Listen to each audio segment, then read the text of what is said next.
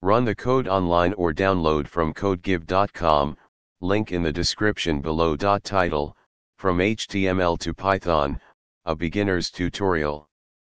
Introduction In this tutorial, we'll explore the process of transitioning from HTML to Python, two fundamental languages in web development and programming.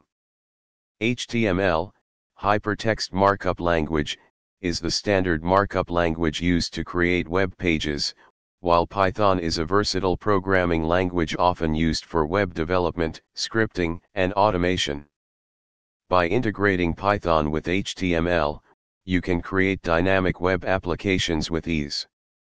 Let's dive into the basics.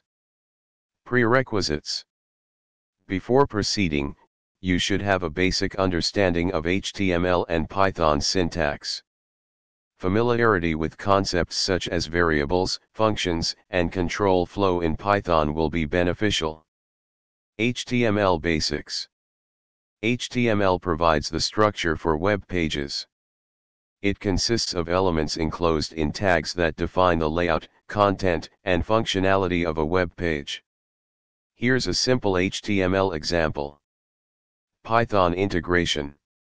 To integrate Python with HTML, we can use frameworks like Flask or Django.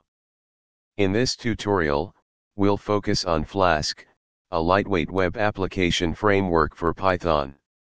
You should see output indicating that the Flask development server is running.